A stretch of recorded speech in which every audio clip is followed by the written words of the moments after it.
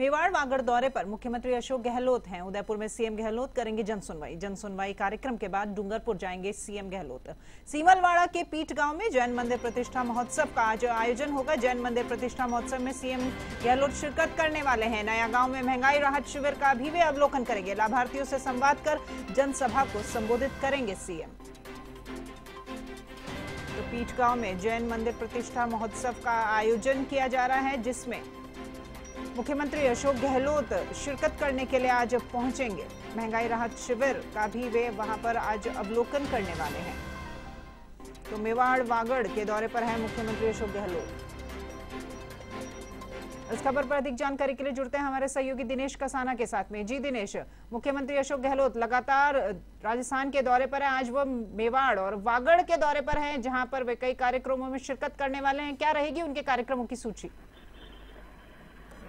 देखिए मुख्यमंत्री अशोक गहलोत के दौरे का आज तीसरा दिन है और चूँकि लगातार उन्होंने कल भी कई कार्यक्रमों में उदयपुर में शिरकत की और चुनावी वर्ष है तो चुनावी वर्ष में निश्चित तौर पर जब मुख्यमंत्री प्रदेश के दौरे पर निकलते हैं तो राजनीतिक दृष्टि से वो काफ़ी महत्वपूर्ण दौरा माना जाता है। जी। तो आज मुख्यमंत्री अशोक गहलोत उदयपुर और डूंगरपुर दौरे पर रहेंगे। सिमलवाड़ा में जैन मंदिर के कार्यक्रम में उनका शामिल होने का कार्यक्रम है और वहाँ पर जैन मंदिर की प्राण प्रतिष्ठा होगी सिमलवाड़ा में, जहाँ मुख्यमंत्री अशोक गहलोत इसमें शामिल होंगे। तो सुबह दस बजे उनका इसमें जैन मंदिर के प्राण प्रतिष्ठा महोत्सव कार्यक्रम में शामिल होने का कार्यक्रम है। और सुबह ग्यारह बजे वे सिमलवाड़ा में महँगाई राहत कैंप और सुशासन गाँवों के संग अभियान दोनों का अवलोकन वहाँ पर करेंगे। इसके बाद उनका उदयपुर पहुँचने का कार्यक्रम है। उदयपुर के खैरवाड़ा में नया गाँव जहाँ पर मुख्यमंत्री अशोक गहलोत दोनों जो कैंप है, महँगाई राहत जो पूरे प्रदेश भर में लगाए जा रहे हैं और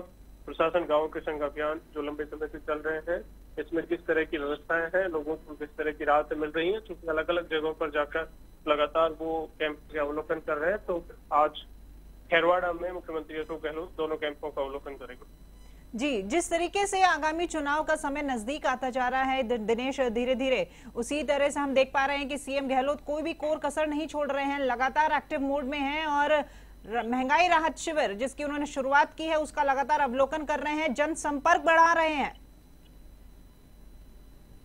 देखिए, निश्चित तौर पर जो कैंपेन सरकार की ओर से शुरू किया गया है, महँगाई राहत कैंप और इसमें दस योजनाओं को शामिल किया गया है तो इन दस योजनाओं में जिनमें बजट घोषणाएँ भी शामिल है, चाहे सौ यूनिट बिजली फ्री देने की बात हो, किसानों को दो हज़ार यूनिट बिजली फ्री देने की बात हो, तमाम जो घोषणाएँ चुनावी वर्ष के लिहाज से महत्वपूर्ण मानी जाती हैं तो वो कैंपों में शामिल की गई हैं। लंबे समय से प्रशासन, गाँव और शहरों के संग अभियान चलाया जा रहा है, जिसमें लोगों को जो उनके प्रॉब्लम्स हैं, एक स्थान पर सभी चीज़ों का समाधान है, वो भी वहाँ पर करने को मिल रहा है। तो ऐसे में काफ़ी महत्वपूर्ण ये महँगाई राहत कैंप साबित हो रहे हैं और गारंटी कार्ड इनके माध्यम से दिए जा रहे हैं। जी, धन्यवाद दिनेश आपका इस तमाम जानकारी के लिए।